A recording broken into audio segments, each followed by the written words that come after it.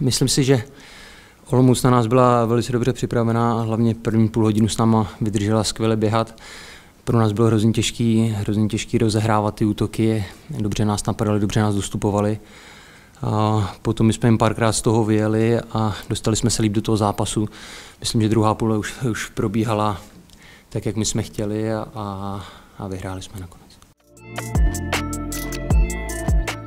Za mě prostě to bylo rameno, měl jsem na drezu tady otisk, takže za mě prostě je jasný rameno.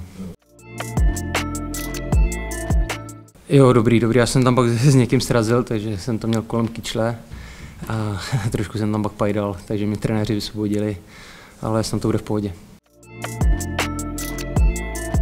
No, tak já myslím, že my na hřišti jsme, jsme byli docela v pohodě, potom eh, nevím, co jste viděli, jak něco mezi střídečkama nebo to.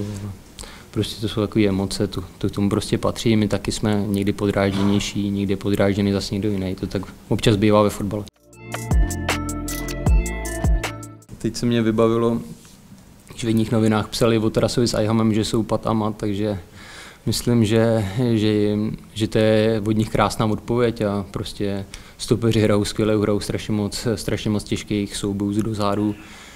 V poslední dobře to i skvěle rozehrávají a tady to je prostě vizitka jak jej, tak Mandyho, který chytá skvěle, rozehrává a celého týmu.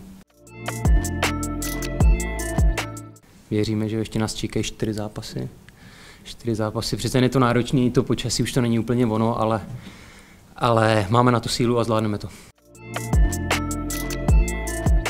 Tak překvapilo nás to docela, čekali jsme, že, že tam bude aspoň jeden útočník, ale překvapilo nás to, ten e, Pablo González si skvěle odskakoval do toho mezi prostoru, dělal nám to docela problém.